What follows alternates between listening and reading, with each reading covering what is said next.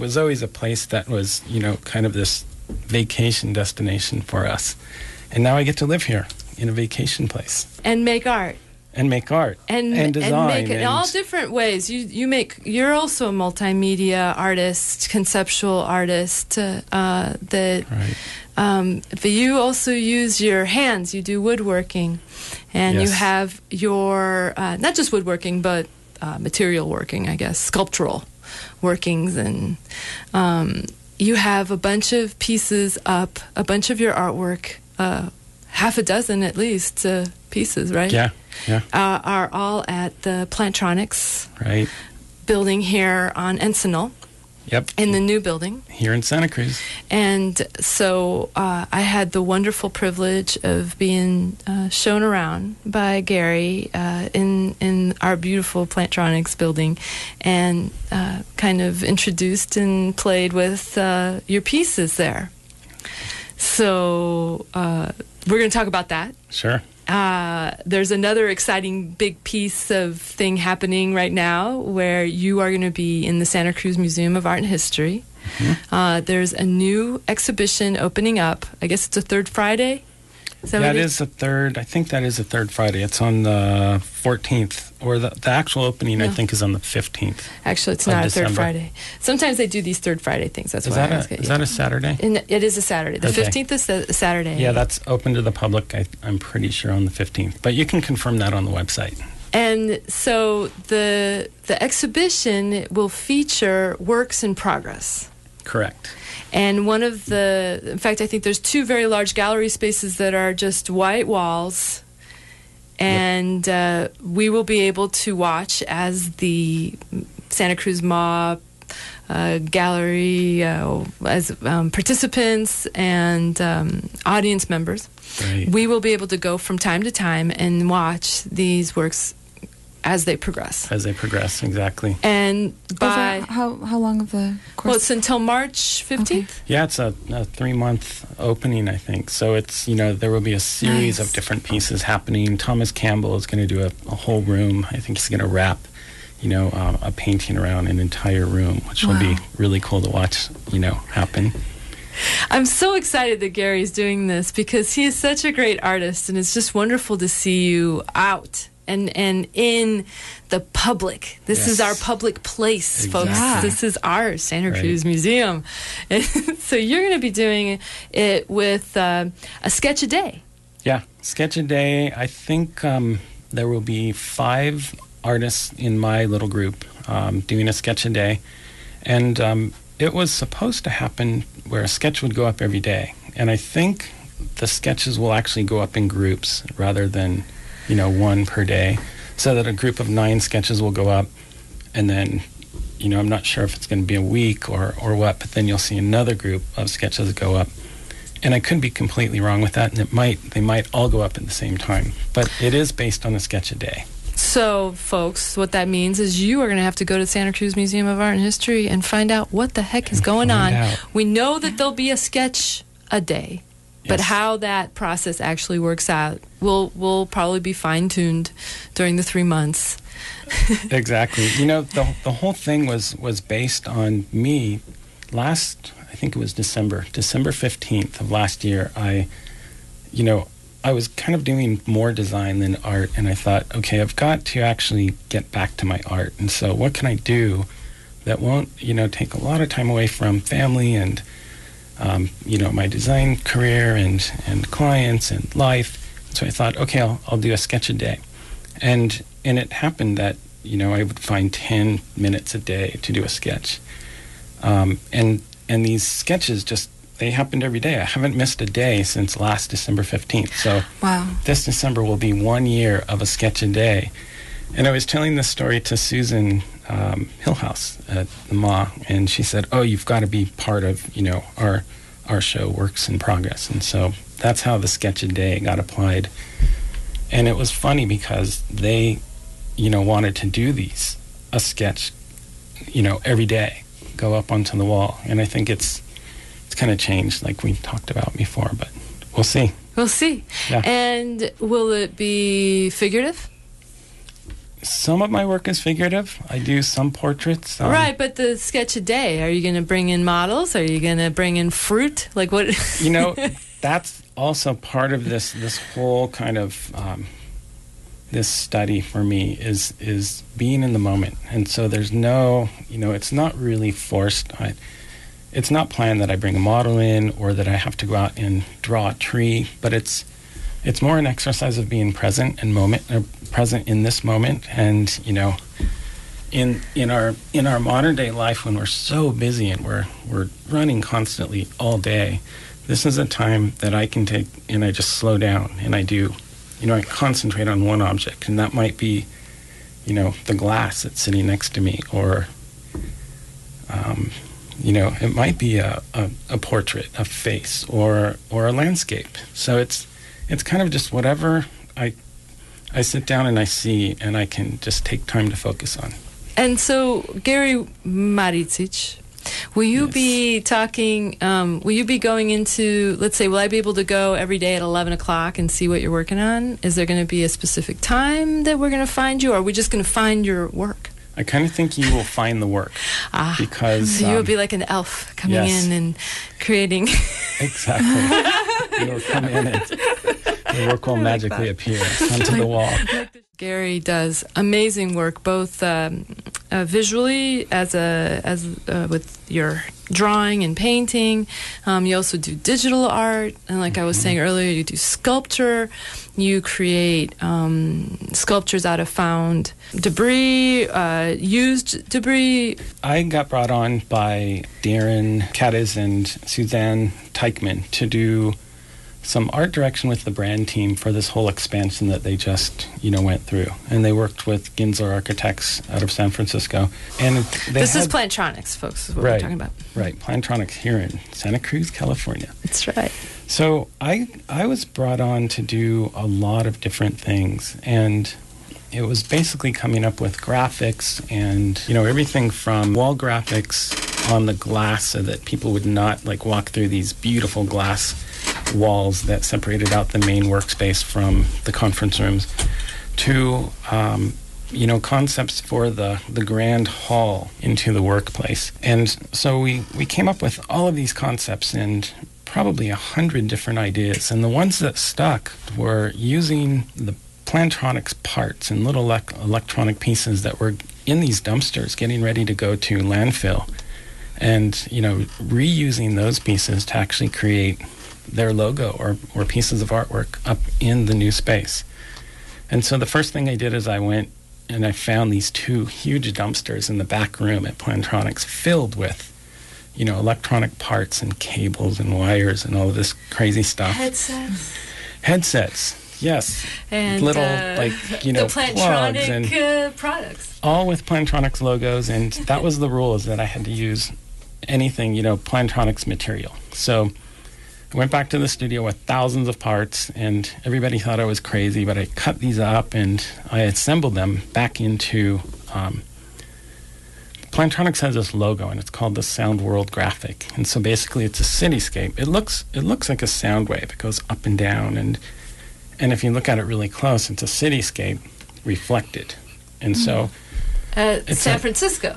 Well, they're iconic Oh, buildings. right. So, you know, one is the Transamerica Tower and then St. Peter's, you know, um, There Cathedral. was a Sears Tower I saw. the Sears Tower. And uh, right? a, um, the Empire State Building, Yep. the New York. right. Chrysler Building, New York. So, so these buildings are, you know, they're part of the skyline, it's the world skyline. And they were the iconic, you know, um, shapes of the world. And so I probably used, I didn't count, you know, how many pieces I used to assemble into these eight foot long. Um, you know, I took the logo and I blew it up so that it was eight feet long by three feet tall. And the pieces just went together beautifully to form, you know, the buildings. And from afar, it appeared to be the, the graphic, the logo. But then the closer you got, you noticed that, wow, there are like hundreds of little parts, even thousands of little parts that were all assembled to create this this logo. And so, you know, it's it's illusion that I love to play with, and that was, um, you know, really fun to do with, with all these electronic parts. And there was a sister and then it also it goes around its corner so you Right. you have this uh, 90 degree angle in it that you can see the sound logo the soundscape Right. logo from in both directions kind of like in a two point perspective right? It, it actually wrapped around three sides of that. That it's called a little um, conversation booth, and so the inside of that booth that this piece wrapped around was lined with carpet, and you can go in and actually, you know, have a quiet conversation. And so the the goal and still was be in the middle of a big room exactly Yeah. right because it's hard when you're in in the middle of that big floor with all the employees in their in their stations to have a private conversation is a little difficult unless you walk out into the hallway or go into this little room. And so we tried to make all parts of plantronics kind of pleasing with graphics and color and furniture and motif and a lot of art. stuff. A lot, of great art. yeah, they they bought off on the art, and um, credit to them for you know going for it and and allowing this to happen within their Santa Cruz campus. It's really Yeah. great. Yeah, so you're listening to uh, Gary Maricich. He is here talking about his work that is up now at the Plantronics, the the new building. What's the building called? It's You know, it's the main building on Encinal, and the I think it's a three four five building. The 345. Three three three and three four five. Pretty sure. and so uh, one of the pieces is how long would you say? Did you? It was three feet wide by eight feet long. Yeah, so that would be on the face, and then a three foot section wraps around the, you know, the, the wall. cu- the cubby. but- Right. Yeah. and then um, on the the front side of the sound booth, on the opposite side, another three piece section of the material of the Sound World graphic kind of, you know, kind of fades in that side. And you can some of the pieces you can actually play with. They're like You can. They're little broken little springs and right. and little headphones and little like doors you can slide open and close and um, you could really spend a lot of time playing with this piece of artwork. Now you have a similar piece made from ca- uh, found wood. Yes, redwood. From well, the the thing was to tell the story of Santa Cruz, and so you know, with Plantronics in mind. So when you think of that, you've got the Santa Cruz Mountains and the redwoods, and then you've got Plantronics, this you know tech company here in Santa Cruz doing wor- you know work on a global level, and so tech you know tech pieces like little pieces of electronics was one piece, and so the the alternate piece to that was the redwood. So, um, what I did is I, I, I waited for, I, I went searching for little branches and, and things in the Santa Cruz area and couldn't really find much. And then, about a month before the piece was to be installed, I didn't have any redwood yet, maybe a couple of branches from neighbors' yards, you know, here in town.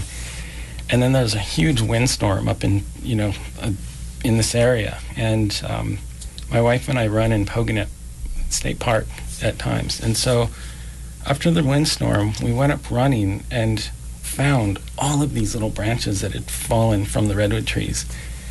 And um, people must have thought we were crazy because we started picking them up. I'm like, this is perfect. We need this for, for the, you know, for the Plantronics piece. And so we had probably a hundred branches and we carried them back to the car and I went up, you know, two other times. I brought the girls, you know, with me, and we all had little bags, and we probably gathered, you know, thousands of sticks from little twigs to big branches. And then I, I used the bandsaw to, you know, cut them into really cool little shapes and glue them on in, you know, fun configurations to recreate the Sound World graphic. So you had this organic Sound World graphic, and then you had, you know, this this like Tech. machine tech graphic. Right, right, yeah, right. telling the same story actually. Yeah, yeah. And if you are trying to imagine this piece in your mind, you can go and we'll be able to go to artistonart.com and I will have a video up of Gary talking about these pieces. And you'll get to see um, exactly what he's talking about uh, up close and from far distances, but tr- really trying to give you the experience of, of, of uh, seeing these pieces.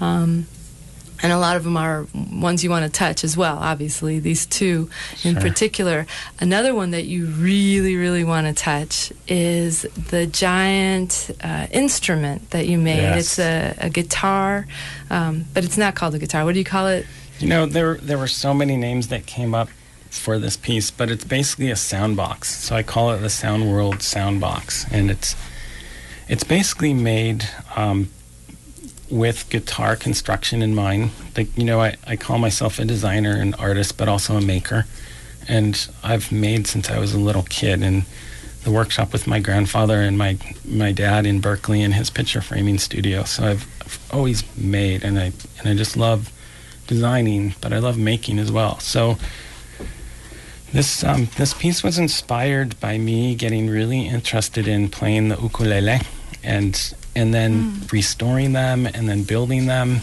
and I thought, okay, I'm gonna I'm gonna create this interactive piece of art for Plantronics, and it's going to be an instrument that the employees can you know walk by and actually you know take their badge and play a tune on the strings as they're walking by.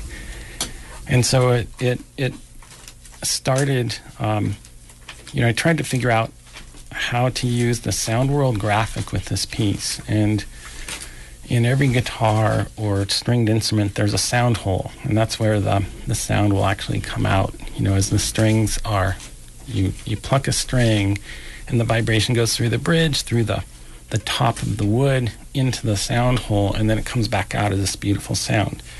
And so I thought, man, I don't know how to do this, but I'm going to make a big box that will, you know, be like a guitar.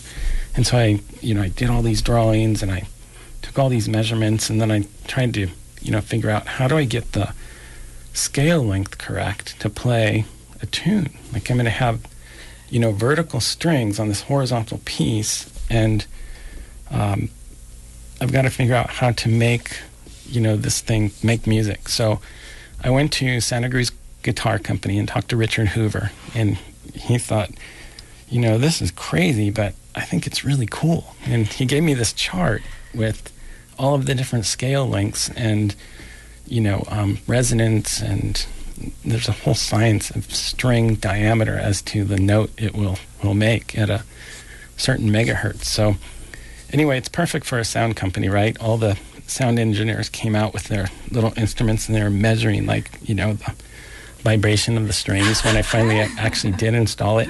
And um, it was great. So, anyway, I ended up figuring it out. And, you know, long story short, there's a six foot long by 18 inches tall, four inches thick. Um, I guess you would call it a, a wall harp, a guitar, you know, a sound box.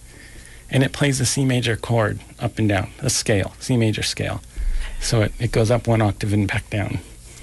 And you get to play with it you you have you slide it along with your badge and you can make a tune Pencil or pen, whatever. anything anything Yep. Hey, this is uh, KZSC Santa Cruz. You are listening to Artist on Art. We have an extra special half hour time tonight um, for TIFF time. Uh, so, KZSC thanks Monterey College of Law for supporting this program. For over 40 years, Monterey College of Law has offered serious students the opportunity to seek a career change, re enter the workforce, or advance their current professional career by obtaining a legal education. Courses are taught by practicing lawyers and judges who emphasize training in legal skills and professional responsibility. Small classes and flexible schedules at both their Seaside and Santa Cruz campus allow students an opportunity to attend law school in the evening. To find out about scholarships, admissions, or other information, contact Monterey College of Law at 831-582-4000 or at the web on the web at montereylaw.edu. As a non-commercial educational radio station, KZSC supports free expression of ideas. Please be aware of the that the opinions expressed of those of the speakers or artists only and do not necessarily reflect the views of the UC Regents, KZSC staff, management, or underwriters. We welcome your feedback on our programming. Please direct your com- comments to the Program Review Committee by calling 831 459 4726 or emailing prc at kzsc.org. I've got Raquel Cool is still here in the house. Thanks, yeah. Raquel, for hanging.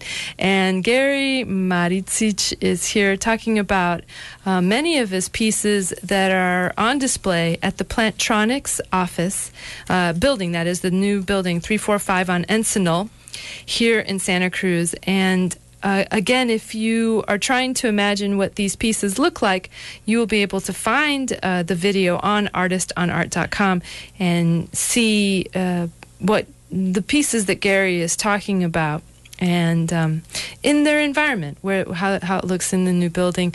The new building was uh, uh, LEED certified. Mm-hmm. Uh, they were uh, very cognizant of the green materials, trying to use the most green and and the most efficient means of those materials. And right, yeah, I I think um, I don't know to what level it was certified. Um, but Gensler worked really hard to, you know, source local material if they could, um, and use you know sustainable products and and things that were you know um, made to last. You know, not not throwaway furniture. I mean, Plantronics, um, you know, spent a, a, large sum of money actually creating this space, and um, it it shows. It's just really really well done, and I think um, the employees are, are liking it as well. There's a whole new um, portion of this that's recently completed, and um, I was talking to Darren Caddis about it, um, and he worked directly with with um, Gensler on this last um, kind of iteration, and they used a lot of reclaimed wood for the walls, which is going to work out perfectly with with all of the art that we, you know, created for the space. So. And you Good. were you were asked to create this artwork. Part of the, I guess the philosophy uh, at Plantronics is that uh, people are happier if there's art in their environment. Yeah, I you know I think the the company is I don't know a huge amount about it, but I I do know that people that work there are really happy, and I think the you know the powers that be at Plantronics, and I don't need to name everybody, but they they actually want to create an environment where their employees are, are truly happy at work and you know like being there. And you can truly feel that when you when you go in. The team i worked with i started out working with the brand team um, suzanne teichman and lisa orsini and um, we you know we brainstormed so many great ideas um, through that that team, and and came up with you know so many good ideas that it wasn't even possible to do all of them. So the ones that have been done are are pretty special because you know it was probably ten percent of what we we dreamt up for the space. So anyway, uh, great place. Truly collaborative. Totally. Totally. Yep. yep. Totally it's wonderful. And then Gary Maricich is also here in the house talking about his work. Uh, he has, we, we could be talking a lot more. And luckily mm-hmm. tonight we've got another 20 minutes because uh, TIFF time uh, was nice enough to give me their time because they needed the help. So here we are. The Santa Cruz Museum of Natural History will be showing their final movies at the museum installment, The Cult classic Troll Hunter on Friday, December 14th, a Norwegian mockumentary directed by Andre Øvredal. Troll Hunter features a bizarre blend of sci fi, horror, fantasy, and of course, lots of trolls. Come enjoy the movie, popcorn, troll drinks, and talk by Felton Bigfoot Discovery Museum's Mike Rugg about Bigfoot and the local search. Doors are open at 7:30 p.m. For more details, call the museum at 420-6115. I saw the movie and let me tell you, it is fabulous. You're laughing and screaming at the same time. It's, ama- it's amazing. And as a community service, KZSC airs public service announcements for local nonprofit organizations and events. If your group has something special going on and you'd like us to help get the word out, email kzsc at psa at kzsc.org. More information and guidelines about submitting announcements can be found on our website, kzsc.org. And yay, got all that done. Yay. Yay. Nice. So Raquel's got an exhibition, and uh, Gary's going to be having an exhibition called uh, Works in Progress, opening December 15th at the Santa Cruz Museum of Art and History, and it will be running three months, folks. And the really fun aspect of this piece is that you will get to watch how artists uh, progress, how how their work changes, and so every time you go into the museum for the next three months, it's going to be a different it's going to be a different show. Mm-hmm. And so Gary's going to be doing a sketch a day, A sketch a day. a sketch Yep. a day. Now, will people be able to come in and sketch with you That's a good if question. they catch you? Because you're going to be like an Yeah, elf if- in and I think, out. yeah, that 2:30 a.m. thing. I don't know if they'll really catch me, but you know, I think that would. We should talk to Nina and, and Susan about that. They might, you know, they're. That's what the great thing about MAH now is that, um, you know, Nina has brought such a, a life to the museum. Not that it wasn't there before, but now the the world of possibilities have just been opened up, and so many great things are happening. You know, around so you know, a suggestion like that would probably be heard and and might even truly happen. Yeah, and if she, I mean, they, they Yeah. run with it. They grab it and they run. Exactly. And and um, it's it's great to have somebody um, like Nina Simon at the helm. Um, her book Museum 2.0 uh, really spells out her belief in this participatory new world of uh, conceptual and contemporary art, and the idea that. Uh, art uh, is no longer just looking at something that's on the wall, but it's actually also being engaged and possibly picking up the pencil and sketching along next to the artist and uh, waiting in line for a drink made with human breast milk and, and Oh, you have talking breast milk about. too? now. um, all over I'm place with that flustered. one. I don't know. Propose it to them. um, but when you were describing your work earlier, it sounds like it's very playful and tactile. And um, is this like level of engagement and participation something that is has been in your work in the past, or you do you feel like you're coming more into it now? That's actually a good question. I think you know I've always thought that that art should be, you know, touched and looked at and and not on a museum wall where you have to stand, you know, three feet back or the buzzer goes off if you get too close and you get reprimanded. It's true. And so you know, um, yeah, I think it. The, the whole interactive thing is is really great, and so you know, making something that that your audience can actually touch and use and and learn about, and especially for kids, if they can you know be inspired by by a piece, that's huge because that could change the direction of a life. So- It can. Yeah. It can. That that idea can be planted in the brain and drive that person in a different direction that maybe It seems like children are the first to, um, they're just so comfortable with are you know participating to that extent, whereas adults are sometimes, you know, they ask you like, oh, am I supposed to sit down in this chair or am I supposed to just look at it? And it's like, no, Right. it's, it's for sitting in the Yeah, chair, you yeah. know. Yeah, yeah, yeah, Yeah. It's for drinking. you can drink it. Yeah, you can talk. Yeah. You can, Yeah. Yeah. Pick up the pencil and, and draw. I would love to do that with you, Gary. Uh, Gary also has done uh, installation work. He created the sets for our two Santa Cruz. Um, uh, TEDx Santa Cruz events that we've done Oh, now, nice. and they were beautiful, beautiful pieces. Thank you, uh, thank you, Nada. uh, stage installation Yes. work for a theatrical event, um, and yet with TEDx, you have to play within the TED rules. You mm-hmm. have only a certain mm-hmm. number of colors that you can mm-hmm. use. There's it, there, there's quite a bit of guidelines. Yeah. If you're going to use their brand, it better be close or spot on. Right, and and rightfully so. You know, it's a it's a very strong brand. Ted has this worldwide presence, and Yep.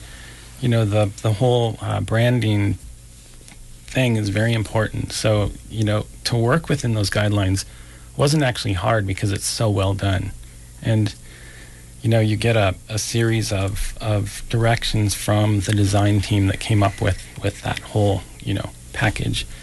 And it, it was very easy to work within those parameters and create you know a minimal there there are different suggestions. You know one of the suggestions is to create a library feel on stage and to do you know different things but I'm. I think I'm more of a minimalist. I, I like it to be about, especially in that in that you know arena.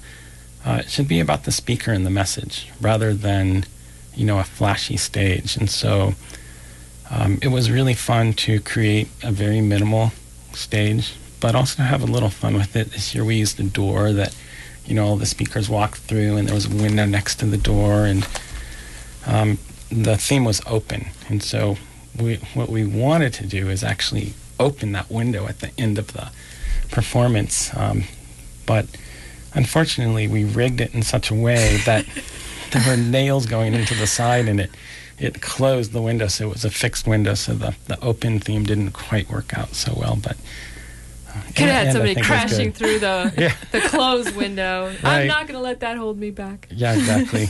Irene Holumbo, you know, she could have pulled that off. Ah, she was yes. one of the MCs. Dive Yeah. right through. exactly. That would have been a sight. So, for our dear audience, Gary, TEDx Santa Cruz is this uh, yearly event. We just started it a couple years ago, and it follows the TEDx um, organization. And so, TED being technology, entertainment, and design, and this uber expensive. Uh, but incredible experience where thinkers and doers come together and speak uh, either for eight minutes, uh, 12 minutes, I believe, and I think 16 might be the longest that they allow the talks to be. 18, I think, somewhere around there. So you have a very specific um, formal requirement of how your uh, presentation of your idea or your work comes across, and uh, we um, it's we grasped this Santa Cruz and we um, own it, and then we've now got TEDx Santa Cruz, and uh, Gary Maricich uh, has created. Uh, two beautiful um, Sets. sets, uh, but they're also installation art pieces. Yeah. And so, Gary, you also come from uh, you. You've painted icons. yes. Tell us a little bit Italy. about that. You know, I so I, I studied interior architecture and um, I worked for a couple of years in the field down in LA designing furniture for a company and traveled all over, you know, to the to the big furniture shows and I always wanted to go study in, in Italy and um, you know learn the Italian style of furniture making and design. And I tried to make contacts and I just couldn't. And this was like two years of, of this process. And um, one day, I actually moved back to the Bay Area from LA. And um, I was I knew I was going to go to Italy. I just said, this is my next move. I've got to go. Um, I knew that furniture design was probably not going to happen, so I um, my dad came home from, from work one day and he said, I just met a woman who knows a fresco uh, restorer. He's 85 years old, retired, and he takes on five apprentices per year. And if you want, uh, she'll, you know, she's she'll be willing to talk to him. And so the next day I was at her studio in Oakland with my whole portfolio. How do I go study with this man? And um, the next thing you know, she gave a phone call. I wrote a letter in Italian to, to him, and he accepted me as one of his five apprentices for the year. And I didn't know where I was going to stay, what I was going to do, but I left with my 200 pounds of luggage and went to Italy on January 1st, 1990. And, um, and I ended up staying for four years, and I worked and studied with Leonetto and I learned not only fresco painting and restoration on the fresh lime plaster with the raw pigment, but how to grind our own pigments. And there was a there was a master who's gone on to to actually restore many many you know um, important works all over Europe, and he was working with Leonetto to teach us how to to to um, paint in the typical panel painting style of, of 1500s and that would be you know layers of gesso over the wood the wood the birch wood you know hand cut board. And then the bowl clay and the 24 karat gold leaf you know um, applied to that. And and then you would paint with tempera. And you mixed your tempera with egg and and raw pigment.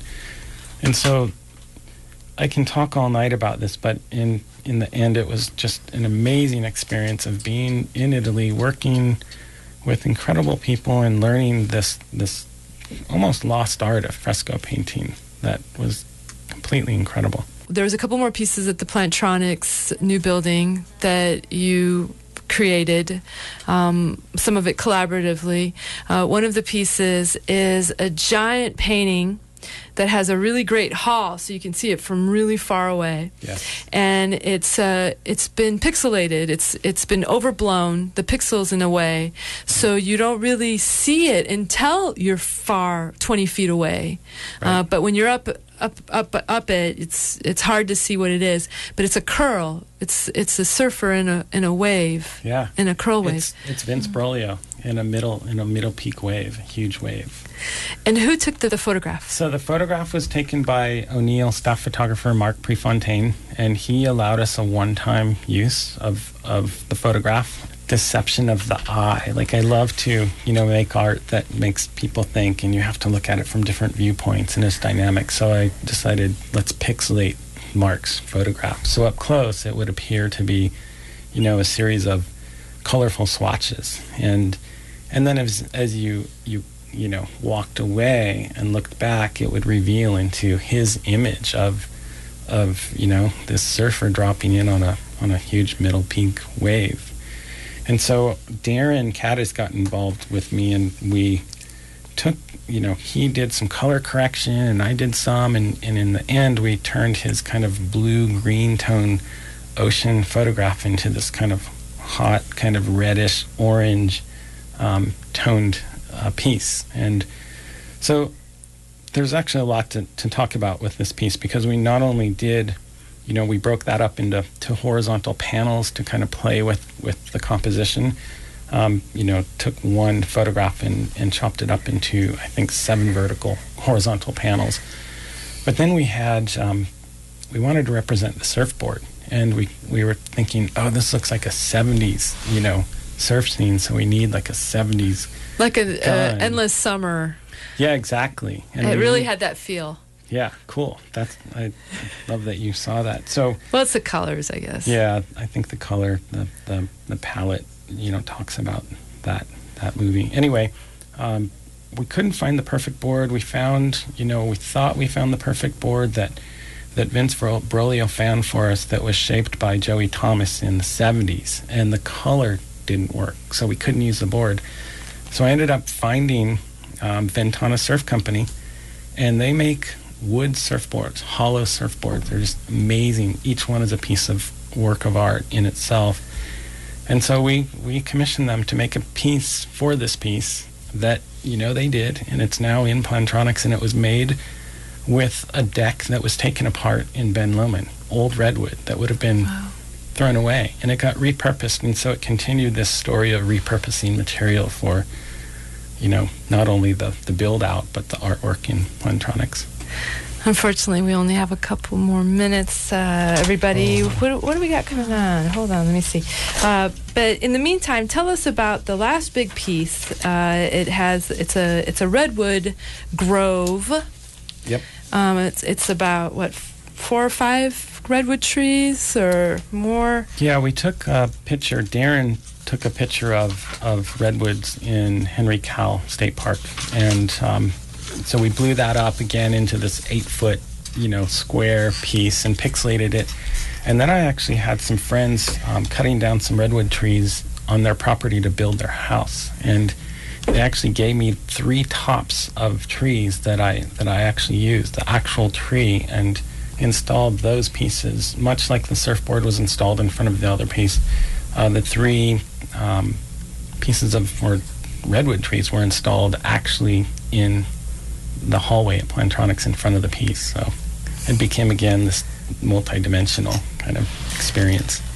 So, folks, again, if you uh, if you if you want to try to imagine it and and see the real thing, if you're tired of imagining, you can go to Artist on Art and you can see the video with Gary in front of his pieces, um, and you'll be able to hear him talk about it. Raquel, cool. Thank you so much. have a, a fabulous uh, performance tomorrow night, First Friday, Santa Thank Cruz. you. Everybody go out, do their art tour. Gary Mat- Maricich, I hope I get to come in and sketch a day with you. Yes. Uh, every day he's going to be making a sketch, and uh, we'll be able to see that in the Works in Progress opening December 15th at the Santa Cruz MAH. Everybody, please stay tuned with Dusty Planet. Thanks for listening to this very special um, Artist on Art tonight. Uh, thanks a lot, everybody. Thank you. Thanks so Nada. much. Thank you, Gary. Thank you, cool. You're so cool. Let me see. I wanna. I'm gonna put some more. Gotan Project. Stay tuned, everybody.